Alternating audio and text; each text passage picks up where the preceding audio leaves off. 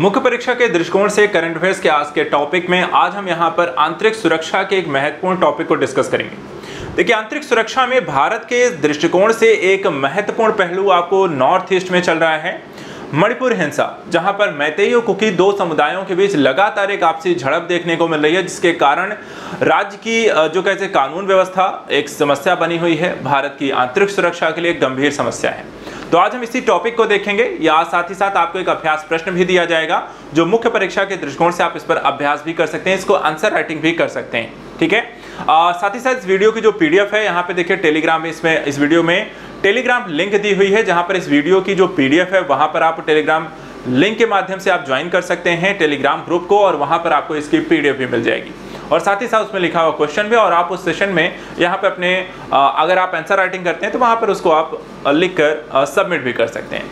तो चलिए स्टार्ट करते हैं आज का अपना सेशन क्या है मणिपुर हिंसा और इससे संदर्भित मुद्दे? सबसे पहले देखिए, ये मुद्दा जो है संदर्भ में जो चर्चा का विषय बना क्यों? अर्थात मणिपुर में जो हिंसा लगातार हो रही इसके पीछे का रीजन क्या है? देखिए रीजन ये है कि सुप्रीम कोर्ट ने एक डिसीज़न दिया था। और डिसीज़न क्या था? कि गैर जनजातीय जो मैतेई समुदाय है मणिपुर में जो रहता है, उस समुदाय को यहाँ पर जनजा अनुसूचित जनजाति यहाँ पर एसटी में शामिल करने या उसका दर्जा देने की, उसके 10 वर्ष पुरानी अनुशंसा पर आगे की कार्यवाही करने के लिए मणिपुर उच्च न्यायालय के द्वारा राज्य सरकार को दिए गए निर्देश के बाद मणिपुर में यहाँ पे एक सांप्रदायिक हिंसा का रूप धारण कर लिया था मैतेई समुदाय को एसटी दर्जा देने के, सुप्रीम कोर्ट और उसके हाई कोर्ट के डिसीज़न के संदर्भ में उसके बाद यहाँ पर कुकी समुदाय के द्वारा लगातार यहाँ पर एक हिंसात्मक गतिविधियों को अंजाम दिया जा रहा है।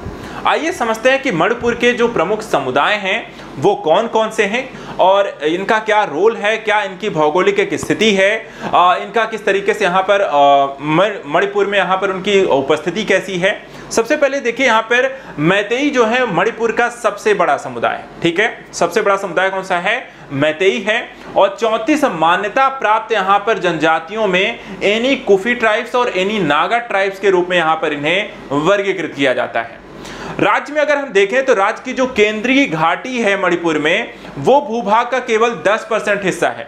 और लेकिन मुख्य रूप से मैतेई और मैतेई पंगलों का जो घर है यहाँ पर, वो यहाँ पर राज्य की आबादी का करीब 64.6 परसेंट है। ऐसे अर्थात कहने का मतलब यह है कि जो भौगोलिक दृष्टिकोण से देखें, जो घाटी है, वो आपके मणिपुर का सबसे कम हिस्सा है। लेकिन वहाँ पर आबादी अगर हम देखा जाए तो मणिपुर की सबसे ज़्यादा आबादी आपको वहाँ पर रहती हुई पाई जाती है, जिसमें मैतेई समुदाय यहाँ पर आपको सबसे ज़्यादा देखने को मिलता है। इसके साथ साथ राज्य के करीब 90 परसेंट जो भौगोलिक क्षेत्र है, वो घाटी के आसपास पहाड़ियाँ हैं और मान्यता प्राप्त यहाँ पे जनजातियों का घर है और इसमें देखा जाए तो यहाँ पर करीब 35 से 40 प्रजातियाँ यहाँ पर रहती हैं, जिसमें कुकी और अन्य यहाँ पर समुदाय आपको ज़्यादा देखने को मिलते हैं। मैतेई समुदाय यहाँ पर क्यों चाहता है? यहाँ पर एसटी का दर्जा देखा जाए, जो कि मुद्दा यहाँ पर बना है तो हमें यह समझना ज़रूरी हो जाता है कि एसटी का दर्जा जो है जो है वो मैतेई समुदाय यहाँ पर इसकी मांग क्यों कर रहा है, यहाँ पर उन्हें क्यों चाहिए? देखिए, सबसे पहले यहाँ पे मणिपुर की एक यहाँ पे समिति है, अनुसूचित जनजाति मांग समिति, के नेतृत्व में 2012 में इस मांग को लेकर यहाँ पर एक समर्थन, कह सकते हैं इसकी मांग को यहाँ पर समर्थन करने का प्रयास किया गया। उसके बाद मामला यहाँ पे देखिए जाए, मणिपुर उच्च न्यायालय के समक्ष गया और वहाँ पर याचिका जो है मैतेई जनजाति संघ के द्वारा यहाँ पर प्रस्तुत की गई। मणिपुर को यहाँ पर सरकार को निर्देश देने की मांग की गई कि वहाँ पर हमें मैतेई न्यायालय में ये मांग की गई कि मणिपुर सरकार को कहा जाए कि मैतेई समुदाय को यहाँ पर एस एसटी एसटी में शामिल किया जाए। भारतीय संविधान में देखा जाए, अनुसूचित जनजाति की सूची मैतेई समुदाय को शामिल कराना मणिपुर में जनजातियों के बीच जनजाति के रूप में उसे मान्यता देना और केंद्रीय जनजाति मामलों में मंत्रालय के यहाँ पे सिफारिश की मांग करना जैसे यहाँ पर पहले इसमें शामिल थे। याचिकाकर्ताओं का यहाँ पे तर्क क्या था वो भी यहाँ पे पक्ष जान लीजिए। देखिए, तर्क था उन्नीस सौ उनचास में भारत संघ के साथ मणिपुर की रियासत के विलय के पहले की स्थिति? समुदाय को जनजाति के रूप में मान्यता, विलय के बाद एक जनजात के रूप में उन्होंने लेकिन अपनी पहचान खो दी। उसके बाद इन्हें एसटी दर्जे की मांग समुदाय को संरक्षित करने की यहाँ पे आवश्यकता पर यहाँ पर उनको आ, कह सकते हैं कि एसटी समुदाय में शामिल होने के पश्चात मैतेई समुदाय को ज़्यादा संरक्षण प्राप्त होना शुरू हो जाएगा और इनका जो तर्क है इसी के पीछे कि यदि हमें एसटी का दर्जा मिल जाता है तो कहीं ना कहीं ज़्यादा हम सुरक्षित और संरक्षित यहाँ पर महसूस कर सकते हैं। इसके अलावा देखा जाए तो मैतेई की पैतृक भूमि परंपरा, संस्कृत भाषा को बनाने की भी यहाँ पर आपको आवश्यकता है।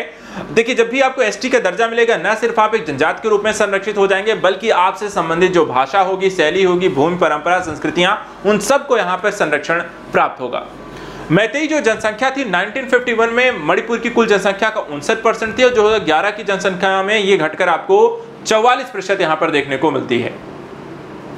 आदिवासी समूह के द्वारा यहाँ पर देखा जाए तो मैतेई समुदाय की इस मांग का विरोध क्यों किया जा रहा है? यह भी समझ लीजिए। देखिए, राज्य के जो आदिवासी समूह हैं, उन लंबे समय से लगातार इसका विरोध करते आए हैं। उनका कारण यह है कि जनसंख्या और राजनीतिक प्रतिनिधित्व में दोनों में देखा जाए तो मैतेई का प्रभुत्व है। और अगर हम एसटी का दर्जा भी दे देते हैं तो उनका प्रभुत्व और भी ज़्यादा यहाँ पर बढ़ जाएगा। राज्य के 60 में से 40 विधानसभा क्षेत्र घाटी घाटी में मैतेई बहुल उन्नत समुदाय से जुड़े हुए हैं। अर्थात 40 विधानसभा सीट जो है मैतेई समुदाय अर्थात घाटी क्षेत्र से आते हैं। और एसटी को दिए बगैर नौकरी के यहाँ पे अवसर अगर एसटी का दर्जा अगर देखा अभी तक नहीं दिया गया है, लेकिन उनके पास पर्याप्त यहाँ पे नौकरी के अवसर है। अगर एसटी का दर्जा उन्हें मिल जाता है तो नौकरी के और भी बेहतर अवसर उन्हें यहाँ पर मिलेंगे। और अन्य सकारात्मक लाभ जो है, उनका भी यहाँ पर नुकसान की स्थिति। ये सारी चीज़ें यहाँ पे आदिवासी समूह जो है, उनका विरोध कर रहे हैं कि मैतेई समुदाय को संरक्षण मिलने से बाकी जो समुदाय, जैसे कुकी समुदाय है, उनको यहाँ पर नौकरी, व्यवसाय, अन्य चीज़ों में यहाँ पर उनको वो प्राथमिकता नहीं मिलेगी जो मैतेई समुदाय को मिलने लगेगी। इसके साथ साथ मैतेई लोगों की मणिपुरी भाषा संविधान की आठवीं अनुसूची में शामिल है। मैतेई समुदाय के वर्ग मुख्य रूप से यहाँ पर देखा जाए तो हिंदू हैं। पहले से ही अनुसूचित जाति यानी पिछड़ा वर्ग के तहत वर्गीकृत उस स्थिति से जुड़े अवसरों का ये लाभ प्राप्त कर रहे हैं और मैती राज्य और उसके तंत्र को नियंत्रित करने वाला एक प्रमुख यहाँ पर आपका समूह है। राज्य के द्वारा उनके सांस्कृतिक, राजनीतिक और आर्थिक अधिकारों की यहाँ पर आपको रक्षा की जा रही है। अब राज्य में चल रहे संघर्ष के कारण क्या क्या है? देखा जाए तो ये तो मुद्दा हमने समझा कि मूलतः मणिपुर की भौगोलिक स्थिति क्या है? मांग क्या है एसटी दर्जे की? मैतेई समुदाय क्या चाहता है? अन्य समुदाय वहाँ पर उनके विरोध में क्या तर्क देते हैं, जो कि हिंसा का यहाँ पर स्वरूप बन रहा है? अब हिंसा का देखा जाए जो कारण, ये पूरी कहानी आपको जो समझ में आई, यही मूल जड़ है आपकी हिंसा के कारण का। इसमें देखिए, असंतोष का एक प्रमुख कारण है दोस्तों 2022 में सरकार, राज्य सरकार के द्वारा अगस्त में एक नोटिस जारी किया गया जिसमें दावा किया गया कि चुरा चांदपुर खीम संरक्षित वन क्षेत्र के 38 गाँव अवैध बस्तियों के रूप में वहाँ पर घोषित किए गए और उन गाँवों को यहाँ पर नोटिस जारी किया गया।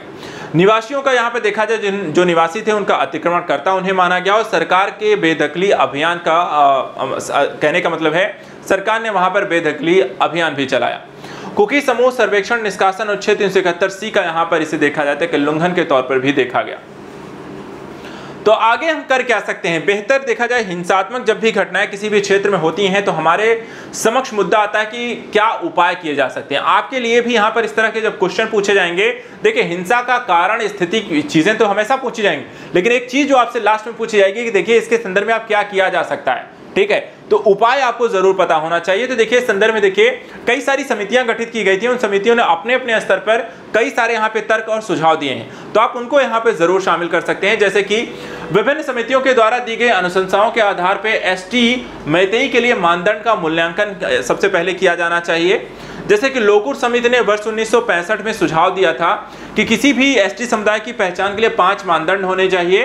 पहला, आदिम लक्षण, दूसरा, विशिष्ट संस्कृति, तीसरा, भौगोलिक अलगाव, चौथा, बड़े पैमाने पर समुदाय के साथ संपर्क, संकोच और पिछड़ापन चौथा यहाँ पे दूसरा इसके बाद आया भूरिया आयोग, जो 2002 से 2004 के बीच यहाँ पे गठित किया गया। इन्होंने भी अपने स्तर पे कुछ सुझाव दिए हैं कि जनजातीय भूमि एवं वन, स्वास्थ्य एवं शिक्षा, पंचायतों के कार्यकरण, जनजातीय महिलाओं की स्थिति और पांचवी अनुसूची के कई विषयों पर यहाँ पर ध्यान में ध्यान केंद्रित करना चाहिए और उसके आधार पर यहाँ पे आदिवासी या जनजातियों के यहाँ पर श्रेणी को वर्गीकृत करना चाहिए।